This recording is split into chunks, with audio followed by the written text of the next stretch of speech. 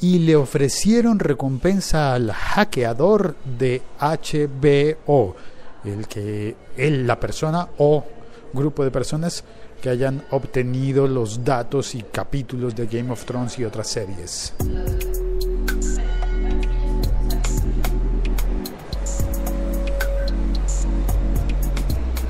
Soy Félix, arroba locutor co en todas las redes sociales, eh, haciendo este podcast desde Bogotá, Colombia, desde el centro de Bogotá, al frente de la iglesia de San Francisco, donde acabamos de oír el final de las campanadas de las 11 de la mañana, porque este episodio lo grabo, lo grabo así en vivo, sin edición y mostrando la realidad bogotana, como de que hay uno, dos, tres grandes buses biarticulados aquí en pleno atasco, embotellamiento en el Transmilenio, transporte público. Hay una llovizna, la gente va cubriéndose con sus paraguas de todos los colores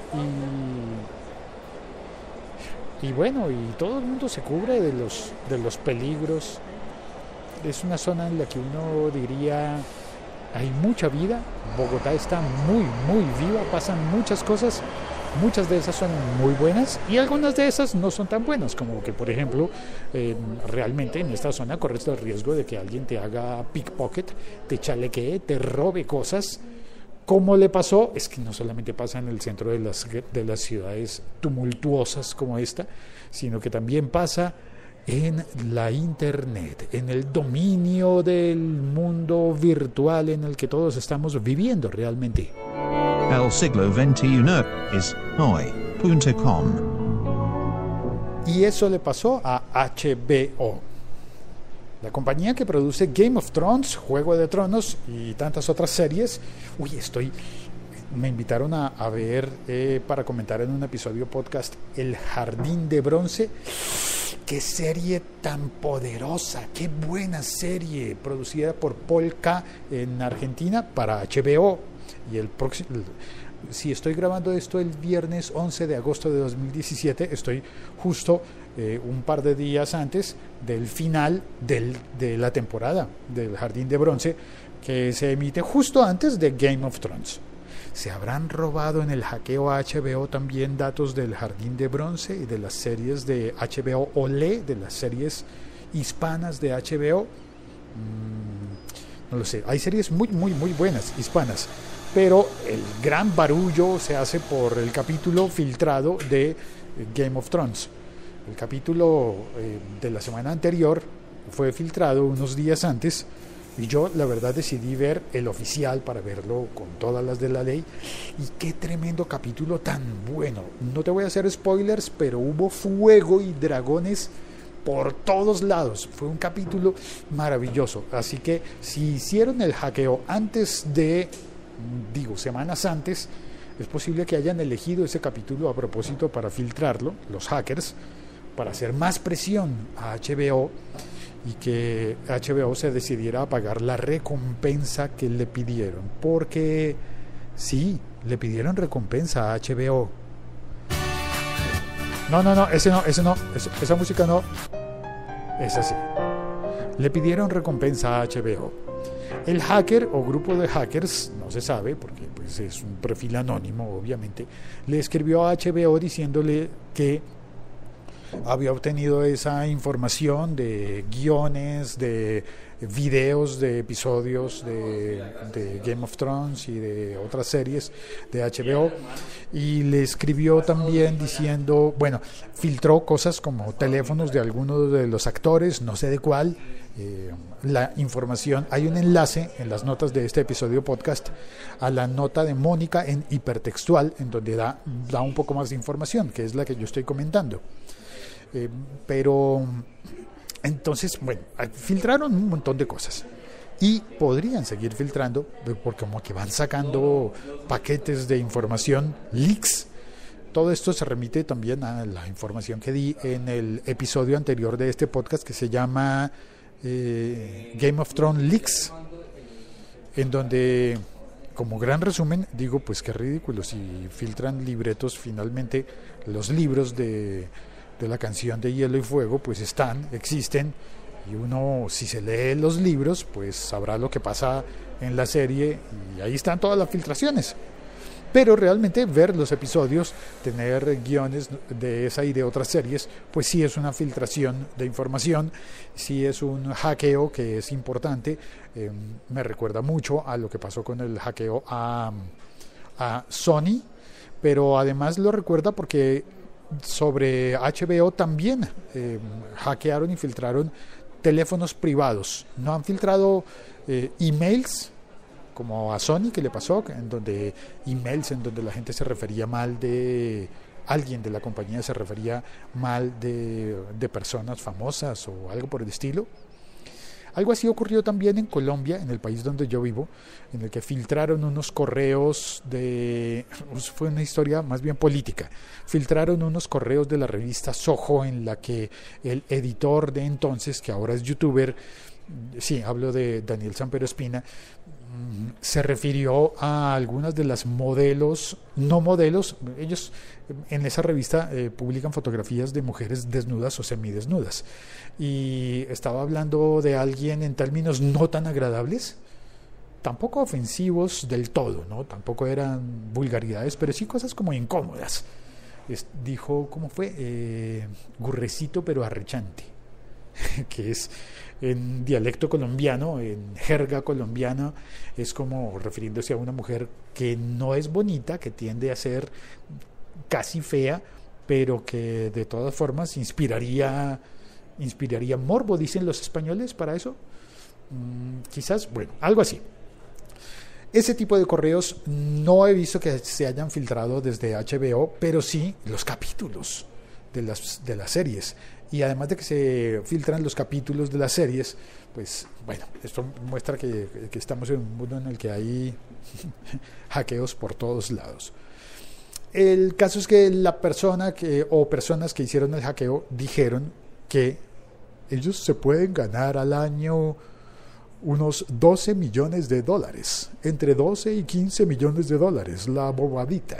No, no, no se ganan más sino 12 millones de dólares. Ok, un, un millón por mes. Ajá, ese sería tu sueldo de hacker. Claro, sí señor, tu sueldo de hacker. Si es que alguien le llega a pagar un sueldo al hacker. No, no creo que haya ningún sueldo de hacker ni, ni un promedio de lo que se gane eso. Un hacker necesariamente tiene que ser un trabajador independiente, un, ¿cómo se dice? Eh, monotributista en Argentina y en España se le dice un... Ay, ahora se me olvidó y yo me sé eso. Eh, ya me acordaré, por favor, rellena el espacio en blanco. Un independiente. Eh, auto... y se me olvidó. Bueno, en fin, que tiene que... Imagínate, ¿dónde va a pagar su, su fondo de pensiones el hacker? Mm, ¿Dónde paga su salud prepagada, su salud, su seguro de salud, em, su seguro dental, si está soñando desde los Estados Unidos? ¿Dónde, dónde hace su... cómo, cómo guarda sus cesantías o cómo cobra sus cesantías o si se enferma el hacker si le da un, resfriado tremendo de esos que te dejan en cama tres días y durante esos tres días no puede hackear, ¿qué, puede, qué hace el hacker? Ah? ¿A qué se va a dedicar el hacker en esos días? ¿Cómo va a completar su cuota de un millón de dólares al mes? Bueno, pues seguramente va a buscar hackear a HBO, meter el cuento de que se gana un millón de dólares al mes y que a cambio de la recompensa de no seguir filtrando cosas y de no seguir jodiendo la vida, em, pide seis meses de sueldo. Seis meses de sueldo. Seis millones de dólares. ¿Quieres? Ajá, hacker. Muy bien. Pues HBO le ha dado una respuesta.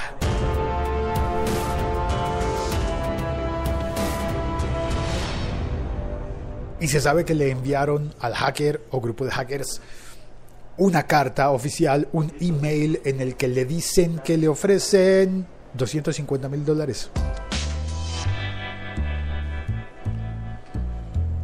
Un cuarto de millón de dólares y deja de joder. es como una negociación de tira de afloja. Eh, bueno, no sé, pero le ofrecen 250 mil dólares, que es, eh, eh, es un montón, ¿no? De todas formas, imagínate, para mí eso es una suma que yo pues, alcanzaré en mi vida entera a reunir 250 mil dólares, a reunir y gastar, gastármelo en arriendo, en cuenta de internet, en medicina prepagada o seguro seguro médico, en, eh, en, pago de pensiones y cesantías, en pago del impuesto, ya se viene la declaración de renta, por Dios.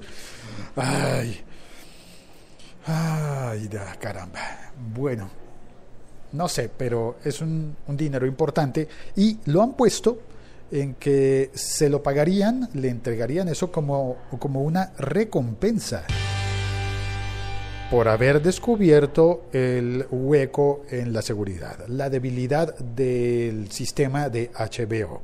Es así como se manejan las cosas en, en, el mundo de la Internet, ¿no? Pero bueno, vamos a ver. ¿Aceptará el hacker la oferta de 250 mil dólares? ¿Seguirá filtrando cosas para intentar que le den otros 250 mil dólares por cada filtración? ¿O se retirará con el rabo entre las piernas una vez reciba los 250 mil dólares? ¿Pagará en efecto HBO los 250 mil dólares o será una trampa y le entregarán un maletín con dinero marcado y la policía irá a perseguirlo? Bueno, no con dinero marcado porque preveyendo todas esas cosas, el hacker ha pedido que le paguen eso. Hey, Jair, buenas, ¿qué tal? Ha pedido que le paguen en Bitcoin. ¿Qué más, Jair? ¿Todo bien tú? ¿Cómo le va? Padrecito, eh, están buscando para mañana un presentador para Día de Rock Colombia. Ah, chévere. Entonces yo estoy ahí, eh, pero se necesita como el presentador que cierre. Que cierre la puerta y apague la luz. Y apague la luz, o sea, para el cierre, porque el día de rock termina a las 2 de la mañana. Es un súper bacán. ¿A las 2 de la mañana? Mm. Pero tú puedes arrancar, puedes arrancar a las 7 de la noche. Espérate, vamos a poner un efecto de, de eh, recargo nocturno. eh, entonces, ¿te interesa? Vamos, pues, vamos. pues, por lo menos que te llamen y ya sí, pueden sí, sí, Dame tu, tu, número. Sí, señor. Listo. Ya mismo le doy. Eh, me despido. Muchas gracias por oír este podcast. Me tiene el podcast, mira. Sí, perfecto, no hay problema, no hay problema. Ah, pero eh, están en el chat. Regáleme 10 segundos, Tranqui. 30 segundos eh, para saludar a los que están en el chat. El siglo XXI es hoy.com. Que es Oscar Valle Rivera y David López. Eh, muy buena información, como siempre, eh, dice David, gracias. Oscar dice, en España la figura de tributista es autónomo fiscalmente. Sí, señor, autónomo era la palabra que yo estaba buscando. Y mmm, también dice, por cierto, eh, se está entrecortando cada 45 segundos y se silencia por 8 segundos. Uy, espero que no. A mí no se me ha cortado la...